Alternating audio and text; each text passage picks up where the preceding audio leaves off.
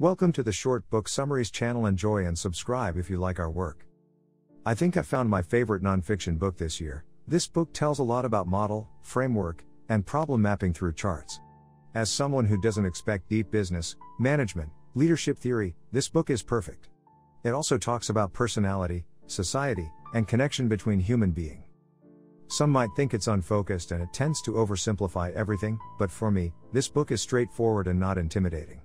I believe in this theory that if you can't explain it simply, then you don't understand enough. It also has a chapter explaining how to use various chart types.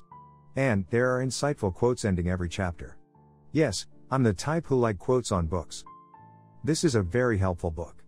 Just having this book displayed on our coffee table is motivating us to make decisions, and to make better decisions.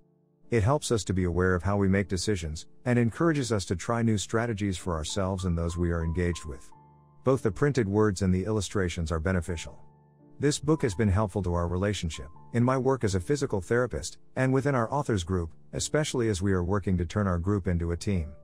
I am being haunted, in a good way, with the quote groups move forward only when one of the participants dares to take the first step. As leader, you should be prepared to be the first to make mistakes. Paged 130 to 131, thank you for providing the encouragement to keep on keeping on. Doran Long, PT, MS, author of your Body Book Guide to Better Body Motion with Less Pain. As others mentioned, this is more of a reference book than something you just read from the beginning to the end. The book is divided into different categories that help you to understand and improve yourself and others.